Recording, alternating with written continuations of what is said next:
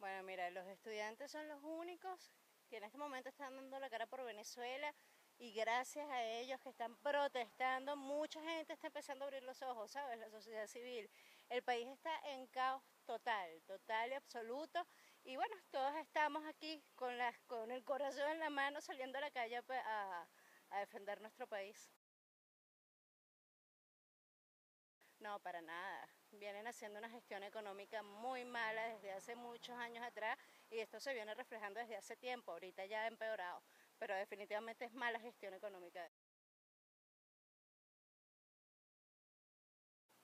Mira, a diario, bueno, casualmente ayer llegó la harina pan y el aceite. Tuve que hacer cola en un supermercado por harina pan y en otro por aceite, ¿ok?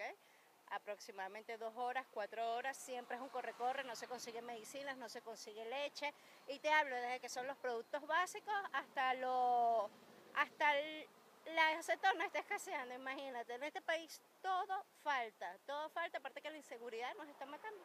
Fíjate, yo vivo en esta zona y viven atracando gente, robando gente, de verdad que estamos en caos, el país está en caos. Gracias. Gracias a los estudiantes, que son los que salen todos los días a defender este país.